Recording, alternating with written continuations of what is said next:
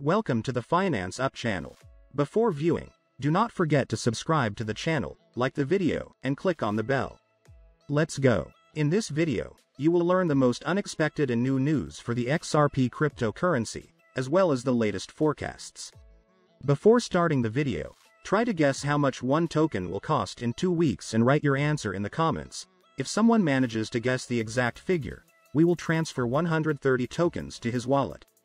Subscription and like under the video are mandatory conditions for participation. I remind you that at the moment one token costs $1.07 closely followed trader and analyst Credible Crypto says that Ripple's native asset XRP is setting up for a massive surge to a new all-time high. In a new tweet, the crypto trader says that XRP's current downward correction is approaching the crucial 0.618 Fibonacci retracement support, a level that many traders keep a close eye on for a possible bounce. According to the crypto strategist, $1.07 is a prime area to catch a ride to the stratosphere on XRP. For traders more confident in XRP and less concerned about the perfect entry point, the $1.12 to $1.20 range is also a viable place for a bullish bid. FLR tokens will be airdropped to a vast majority of XRP holders in late quarter 2, 2021. US-based certified public accountant, James Yachim, took Twitter to elaborate on how taxation norms could potentially affect FLR's airdrop to XRP holders. Yachim asserted that FLR holders would be put at an unfair tax disadvantage.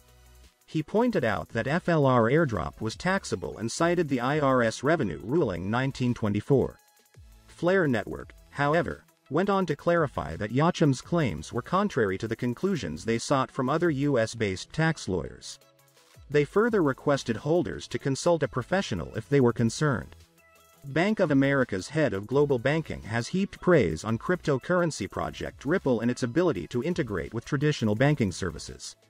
Speaking on a podcast, Bank of America's Julie Harris discussed emerging payment options for businesses and how it can improve efficacy. It's not about our platform and our capabilities, it's about you as a client and the infrastructure you have and the ability for us to integrate, whether that's with platforms and capabilities that we build or partnerships that we have with the likes of Ripple or Swift. She said, These are fintechs that we're partnering with. They've come through all of our rigor of legal and compliance and we're able to leverage our banking as a platform to deliver that to you. Speculation surrounding Ripple's ambiguous partnership with the Bank of America has been mounting over the past four years, with Ripple revealing in October that they had been working with the bank since 2016.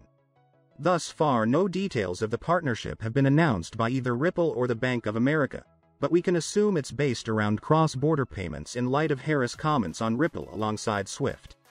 The price of Ripple's XRP token has remained stable in spite of the comments and subsequent rumors, with it now trading along the 20 cents level of resistance flip support. Ripple is a real-time gross settlement system. It can trace its roots to 2004 when a web developer called Ryan Fugger had the idea to create a monetary system that was decentralized and could effectively allow individuals to create their own money. It is one of the largest cryptocurrencies and is one of the top 10 cryptocurrencies by market capitalization. Potentially moving the U.S. Securities and Exchange Commission lawsuit against Ripple Labs in a new direction, XRP holders have filed a motion to intervene in the litigation as a third-party defendant.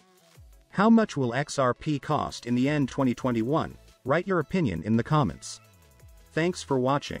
Give a thumbs up, and if you haven't subscribed yet, then subscribe now. In the following videos, there will be a lot of interesting things. See you soon.